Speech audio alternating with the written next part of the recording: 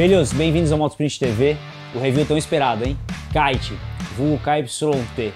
Para você que não conhece, essa marca nasceu em 1998, foi uma ideia com DNA Racing dentro da fábrica, que é fundada desde 1980, uma das maiores do mundo, e tem um trabalho excelente, uma marca que tem a maior presença hoje em pista, em campeonatos com o Mundial de Moto Velocidade, e a cooperação de diversos pilotos. A gente vai deixar uma foto aqui também de todos eles, que traz o feedback num uso mais agressivo.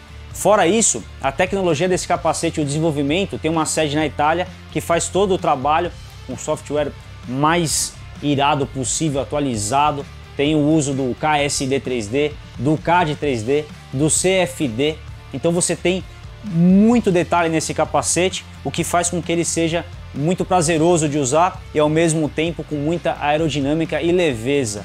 Outro ponto positivo é que foi homologado pela FIM e a FIM tem um teste de mais de 20 pontos no casco, então isso faz com que seja um produto de muita segurança e muita eficiência para um uso hardcore e principalmente para você também que vai usar no urbano, porque lá é o teste mais rigoroso que tem de todos eles. Então isso faz com que você tenha uma credibilidade no produto muito grande. Fora que o conceito é jovem, arrojado, sofisticado, é atualizado, é um casco que é bonito, réplicas de piloto. Então eu tenho certeza que você vai vestir e vai ser muito feliz aqui. E agora a gente vai apresentar cada um deles. Fica comigo e acompanhe esse review.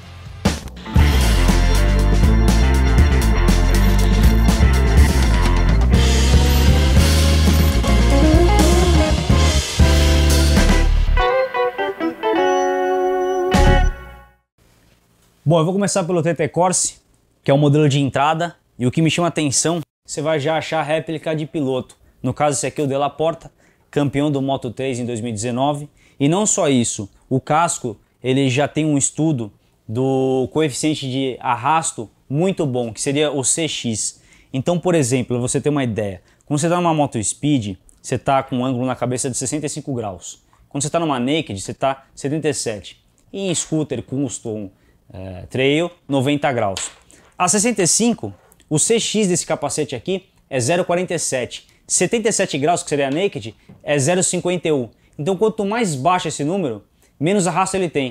O que, que isso significa para você? Quando você está carenado, sai da bolha numa frenagem, ou puxa um pêndulo, que você sai da proteção e começa a vir aquele impacto do vento, o capacete não vai ficar é, pressurizando, não vai ficar tremendo, não vai te atrapalhar, então vai estar tá estabilizado. E isso ajuda você numa pilotagem a prestar atenção no final da curva, no que você está realmente focado e não ter que esperar o capacete se acalmar para você poder estar tá com o foco de novo onde você precisa ir.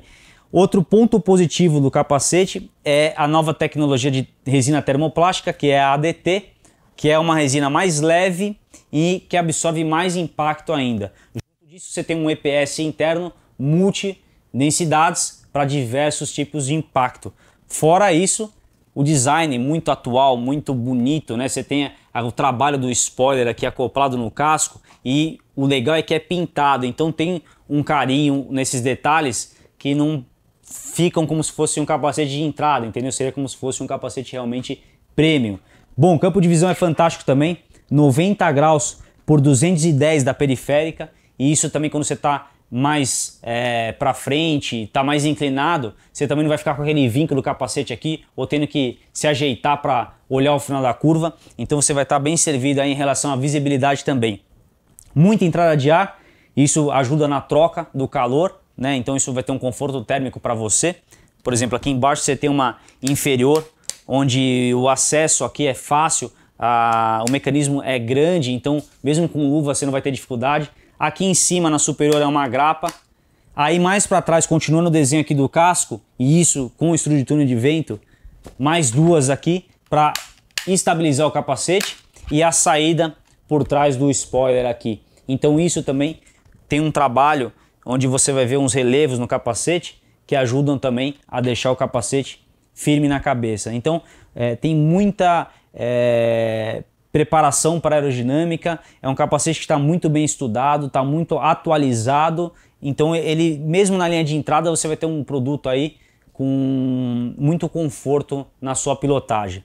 Indo para o forro, deixa eu só colocar um, um paninho aqui, filhos, para não deixar machucar a pintura. Sabe como é que é, né? Ó, um couro perfurado aqui e um tecido muito suave, macio, confortável. Isso ajuda para quem tem rosto sensível. No caso eu, que eu faço a barba, tem que esperar cinco dias, porque senão pipoca tudo. Então aqui você não vai ficar com a barba coçando, ela é muito, é muito agradável de usar. Aí você tem um engaste rápido, que é como é, é pensando num, num capacete que você vai tirar e colocar algumas vezes no dia, então isso facilita, mas não esquece de regular, tá? A bavete e a narigueira. A viseira, inclusive, a trava é frontal, um mecanismo muito fácil e ela já é preparada para pinlock também. Se você quiser, você pode comprar ele é a parte, coloca aqui, acabou o embaçar, tá? Então é um produto que você tem muita qualidade, muita tecnologia, leve e arrojado, né? Você percebe que realmente você vai estar tá com o capacete atualizado, certo? Eu espero que você tenha gostado desse modelo aqui, é o TT Corse, modelo de entrada, onde você já tem uma réplica de piloto. Deixa um like, mais detalhes na descrição do vídeo, se inscreve no canal, no canal foi legal, né? No canal e aguarda os próximos, filho. Moto Speed TV, a vossa casa. Au!